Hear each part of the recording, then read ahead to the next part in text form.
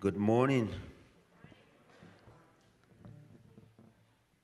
What a great privilege to stand before you to bring the word of the Lord.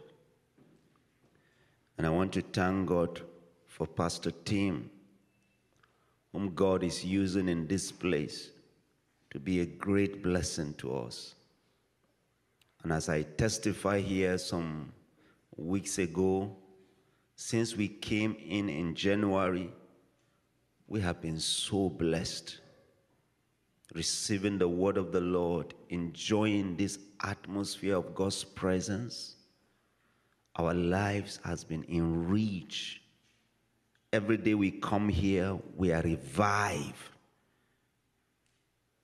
And that is how the church should be. Hallelujah. Hallelujah. Now, looking at this boy, I call myself the boy of God. I don't know whether you have that expression here. But you know, in 1893, some crazy young people left the shore of the United States to go to Africa. And they were young, and everybody told them not to go because they told them, You are going to die. When they reached the coastal city called Lagos of Nigeria, they met other people there and they were told, You can't go to the northern part of Nigeria.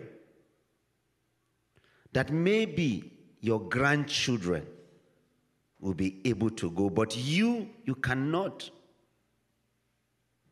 But those young people said, We heard from God. God wants to save those who are living in darkness. And they took the risks. And they came to the part of the country where my, aunt, my, my grandparents were. And they brought the gospel there. And about 100 years now, just one church that God led them to start, just one church, is all over Nigeria, is in many part of African countries. We are talking about 10 million people who goes to church and worship Jesus because those young people took that risk.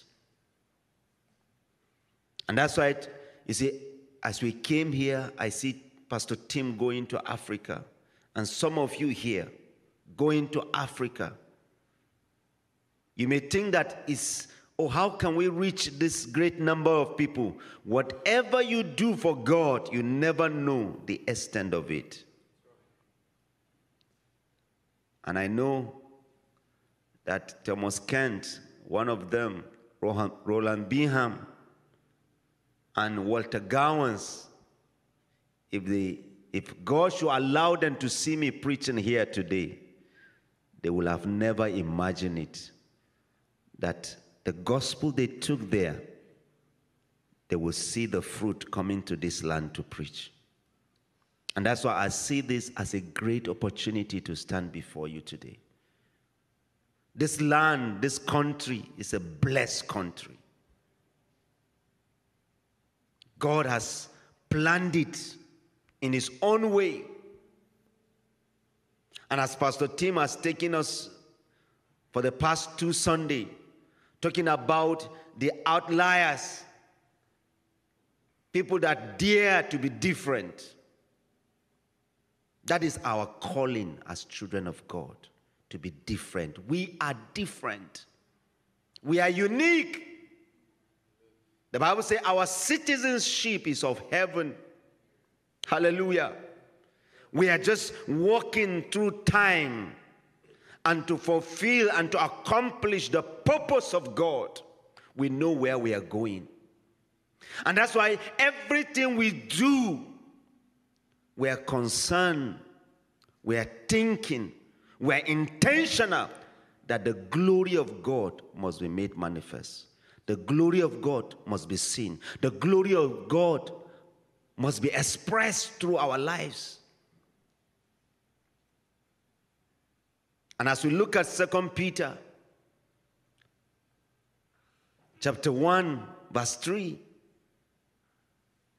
it gave us a very strong word there that should give us confidence as we walk through this life. Can we have it on the screen? Verse 3, we take it again. His divine power has granted to us all things that pertain to life and godliness through the knowledge of Him who called us to His own glory and excellence. I titled today's message, Outliers Displaying the Glory of God. Outliers that display God's glory on the earth. Amen. I want you to ask the person next to you if there's anybody close to you. Ask the person, do you know you are supposed to display God's glory? Just ask the person, your wife or your husband or your son around you. Just, just ask, do you know you're supposed to display God's glory? He has called us to his own glory and excellent. Our life is meant to emanate, to shine forth, to bring forth the glory of God on this earth. And that is God's intention right from Genesis chapter 1. That's why God said, I have created you in my image, in my likeness. It was something that went wrong. That the Bible says in Romans chapter 3, verse 23, that we fall short of that glory. Romans chapter 3, verse 23. We fall short. We came short of that glory. But God's intention is every day as you wake up and you step out of your bed, you are that vessel, you are that container, you are that medium that God want to keep showing his glory. When sin came in and interrupted the process, God didn't stop. His plan must still come to pass. What he intended must still happen. And that's why Jesus came. And I tell you the truth, there has been a big battle. Just like it happened in the Garden of Eden. If you read Genesis chapter 3, verse 1, you will never imagine that it was the devil. Look at what the scripture said. Now the serpent was more crafty than any other beast of the field that the Lord God had made. He said to the woman, Did God actually say, You shall not eat of any tree in the garden? Is there, is there any place there that mentioned the devil? It only said that the serpent was what? Was more crafty. Now, until you come to Revelation and other scriptures in the Bible, that you get to know what was really happening there, there was an enemy that doesn't want us to show forth the glory of God through our lives. That has caused all the troubles, all the confusion, all the challenges in the world because he doesn't want the glory of God to show through our lives. He lost it and he wants us not to have it. The devil is angry with us. He's bitter in his heart. What he lost, what he wanted, we have it. And he came and deceived the woman. Can we have that revelation? Look at what the scripture says. 12 verse 9 and the great dragon was thrown down that ancient serpent who is called the devil and satan the deceiver of the, whole, of the whole world. He was thrown down to the earth and his angels were thrown down to him. Who is the serpent? The devil And I tell you, the same thing is still happening today in our time. It's still deceiving the world. It's still deceiving the world. And as we look at Second Peter As Peter told us of what we have in Christ Jesus, that God has given us everything. Now he went further in verse 12 of chapter 1 to say, Look, we are eyewitnesses of what we are telling you about Jesus. We were there at the Mount of Transfiguration when the glory came upon him and his body shone with light, and we saw Elijah and Moses appear, men that have lived thousands of years ago appeared with Jesus. Peter said, We were there, we saw it, we were eyewitnesses. And in verse 16, he said, For we did not follow cleverly devised meat when we made known to you the power, the coming of our Lord Jesus Christ, but we are eyewitnesses of his majesty. Do you know why Peter is talking this way? Why he's saying this? It's because the deceiver, since their time and to this time, he has been out in the world deceiving people telling them that the Bible, the Word of God, is not true. That the Bible is not authentic. That the Bible has many errors in it. That no, why do you need to read the Bible? Why do you need to believe the Bible? Why do you need to live by the Bible? That is the lies the deceiver has been selling out there through different forms in schools, in the media, in all kinds of things that he can get people to hear, to listen. The same deceiver.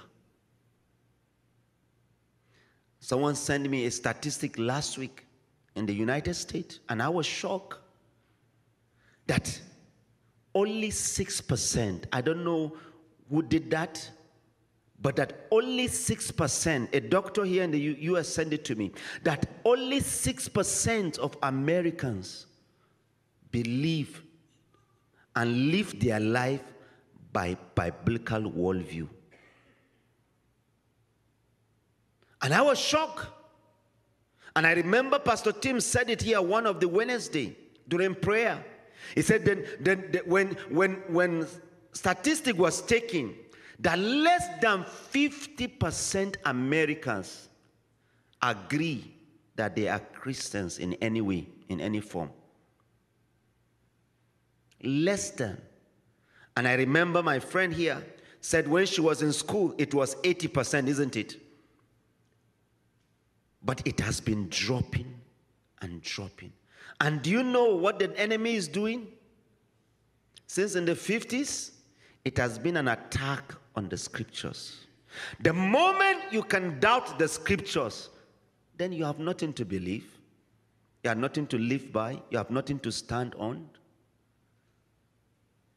Is the old trick of Satan, just like he met Adam and Eve in the garden and told them, Did God said?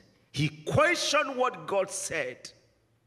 And today, there's a lot of questions being raised against the Bible. And the purpose is to make sure you don't believe it, you don't live by it. But you know the greater danger? What is the devil after? So that the glory of God will not shine through our lives, will not manifest. What is God's glory? God's glory is God's character, God's wealth, God's beauty, God's majesty, God's grace, everything that God is, is God's glory. And God is happy, is glad to share his glory with us, to make us partaker of that glory. When the scripture says we are partaker of his divine nature, it's so that we can manifest his glory. And that glory keep manifesting in us through the activity of the word of God. If you reject the word, if you look down at the word of God, you have denied yourself the manifestation of God's word in your life. Let's look closely at 2 Peter Now, Paul, Peter gave two reasons in this text why you should accept the word of God. He gave two. One, you see it in verse 16 to 18, where he said, We were eyewitnesses. In verse 18, he said, We ourselves had this very voice born from heaven, for we are with him on the holy mountain. He said, I was there. I saw it. But he didn't stop there. When you go to verse 19, 2 Peter chapter 1, verse 19, he gave another more evidence that you should believe the scripture, you should accept the scripture as the word of God. He said, and we have something more sure the prophetic word, to which you will do well to pay attention as to a lamp shining in a dark place until the day dawns and the morning star rises in your heart. Hallelujah. At closing, we'll touch that second part. But you see, he said, something more sure the prophetic word, the word of God. And when you read further, he explained this word. He said, knowing this first verse 20 of all, that no prophecy of scripture comes from someone's own interpretation. That is the Bible. He's talking about the Bible. For no prophecy was ever produced by the will of man, but men spoke from God as they were carried along by the Holy Spirit. Peter is saying, I was there as an eyewitness, but see, the word of God has been there before I came, even before my own experience. The whole Bible, you know, when Peter was writing, Genesis to Malachi was there already. It was written by the prophet. They wrote it at different times, hundreds of years between them. Some of them, thousands of years between them. And every one of them heard from God. And what God said, they wrote it down. And that's why when you go to Second Timothy chapter 3, verse 16, he said, All scripture is inspired by God and is useful to teach us what is true, to make us realize what is wrong in our lives. It corrects us when we are wrong, it teaches us to do what is right. And the last, the following verse says, so that he can make you the man God wants you to be. Who does God want us to be? He wants us to be people that displays glory. People like him. And how are we made that way? By his word. Do you now understand why the devil come against the word? Why he doesn't want you to believe the word? Why he doesn't want you to accept the word? This Bible is not just people that just sat down and wrote fiction and just wrote, wrote their imagination. It's not a myth like you heard of the Greek myths, mythologies of the Greeks. Amazing stories they wrote about their gods and what they did. That is not the Bible. The people that wrote it, it wasn't their idea. They weren't planning to write it. All of them were people like us that God just grabbed and draw them to himself. And I believe and I pray this morning God will grab somebody in the name of Jesus. Hallelujah. You know, like the song we sang, He rescued us. It's a rescue mission. That was their stories. They were ordinary people living their lives. And God came and took hold of their lives. They weren't intending and planning to write anything. The Spirit of God came upon them, and God said, Write these things down. If you go to First Peter chapter 1, the Bible tells us there that they even didn't understand fully what they were writing. When they were writing about the coming of Jesus, can you imagine somebody writing about the coming of Jesus thousand years before Jesus came?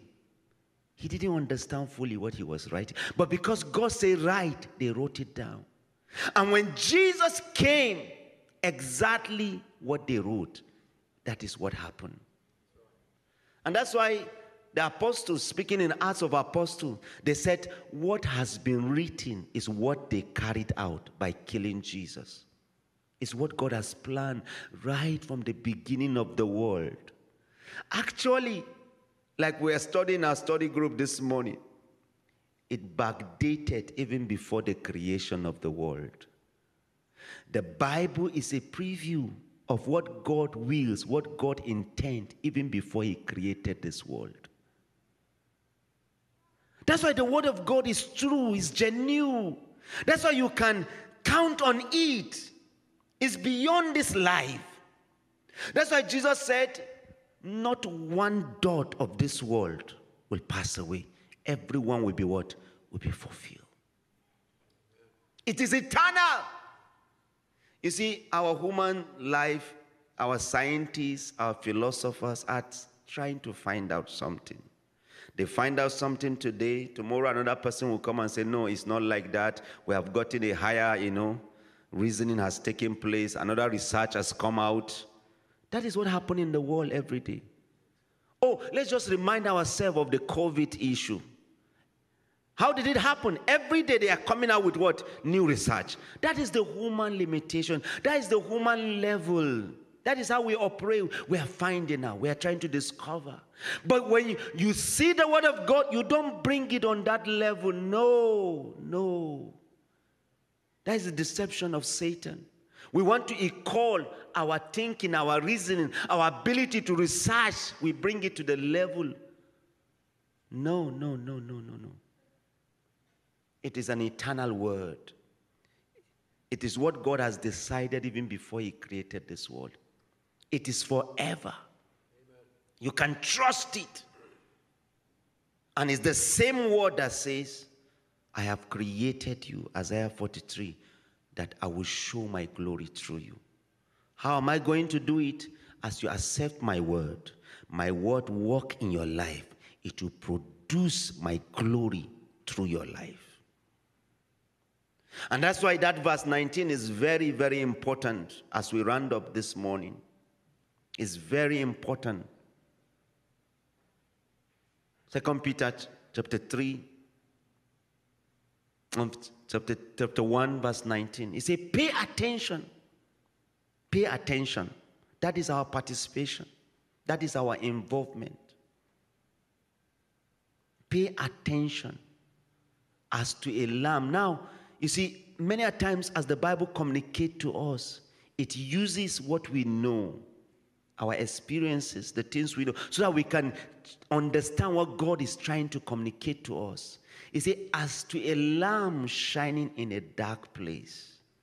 It's telling you what the word of God will do for you, will do in you, will do in your life. It says, it says as a lamp shining in a dark place so the word of God in your heart is. And you know what happened in the morning when the sun comes up, isn't it? What happened to darkness? Disappear. It just goes. Hallelujah. When you pay attention to God's word, every darkness in you, every darkness around you, every darkness in this world gives way. But if you don't pay attention to God's word, you live in the darkness that this world is in. This world is in darkness. You know, you, you think the sun that comes out is okay. No. The works of darkness, the Bible talks about the works of darkness. What people do, evil things, betrayal, hurt, wickedness, sinful behaviors. And that's why when Jesus came, he said, I am the light of the world. He said, Anyone that follow me will not walk in darkness. John chapter 8, verse 12. Jesus is the Word of God. John chapter 1, verse 1. The Word became flesh and dwell among us. If you accept Jesus, you are accepting the Word of God. If you accept the Word of God, you are accepting Jesus. And he said, The word is the light of life. What Peter is taking us and describing and explaining here is see, he said, Look at When Jesus say, I am the light of this world, if you take the word of God in you, the light of God begin to shine inside of you. You remember Psalm 119, verse 105? The word is a lamp unto my feet and a light unto my path. If you take the word of God as light, as lamp in you, it will keep rising, it will keep shining, it will keep. And I tell you the truth the things you don't know now, the things you are not clear about now, the things you may not understand now, just pay attention to the word. Light will come. Hallelujah. And in Ephesians chapter 1, Paul prayed a prayer for the Christians. And I'm going to pray that prayer for us today. He said, I pray that your heart will be flooded with light so that you can understand the confident hope he has given to those he called, his holy people, who are his rich and glorious inheritance. He said, I pray your heart be filled, be flooded with light. How? Through the word. Don't allow anybody or any system or anything in this world to deny you participating in using the word of God. Take it to your heart every day. The Bible says, Let all men be liars and God alone be true. That is how we live as outliers on this earth, as unique people, as different people, by living by the Word of God. I was thinking of this trip to Tanzania next week, and I was asking myself, this is a country I've never been to. What is giving me confidence to go? Then I hear the Spirit of God said, It's my word. It's my word. You can count on my word that I said I'm going with you. And that is what happens every day in our lives. The devil will say all kinds of things, the world will say all kinds of things. You ask yourself, what is God saying? Where is my light coming? What light, what understanding am I having? The moment you hear what God says, you will no longer be in darkness. You will not be confused. Hallelujah. Hallelujah. God walks through His Word. If you want to see God does anything, He does it through what He says. Look at Genesis chapter 1. God says, and the world was created. Anything God does, He does it by speaking. That's why I must keep hearing Him so that I can keep seeing His work in my life. If I want God to be involved with me, if I want to see the work of God in my life, then I must keep hearing what God is saying. Because when God speaks, that is His action. Hallelujah. That's why you must listen to Him. That's why His word must never be taken away from you. Stay on it, meditate on it, think about it through the day. When you go kneel down to pray, oh, say, Lord, speak to me. Because when you open your eyes to see the wonderful things in His Word, then you will see His activities in your life. You will see His activities around your life. Hallelujah. I will call the musician as they come forward. We are going to pray. We're going to ask the Lord to protect our mind to protect us from the lies out there that the devil is selling out there that will want to take our mind and our heart away from God's word. I want you to bow your head while you are seated. And I want you to pray. Say, Lord, protect me. Lord, help me to be wise. Help me, Lord. Help me, Lord, not to give in to the lies that are out there. Ask for that divine help. Ask for that divine help. Pray for your family. Pray for your children. Pray for anybody that you know that they will not be deceived. The deceiver is out there. He want to look down on the Word of God. Just take this moment and ask the Lord.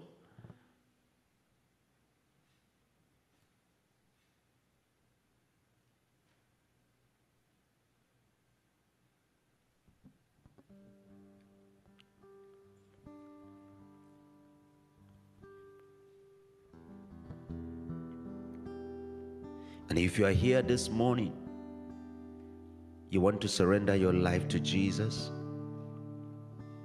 you have heard the word of the Lord come to you that God wants to show his glory through your life. And he does that through the activities of his word in your life. You want to open yourself and say, Lord, I accept your word. I want you to show your glory through me. It's an easy commitment. Just say yes to Jesus wherever you are. Lift up your hands wherever you are, and we're going to pray with you. Just lift up your hands wherever you are. Thank you, Jesus. Thank you, Jesus. Say, Lord Jesus, I accept you as my Lord and my Savior. I believe your word. Thank you because you died for me and today I'm safe. Thank you, Jesus. Thank you, Father, for this gift of salvation. Let's rise on our feet.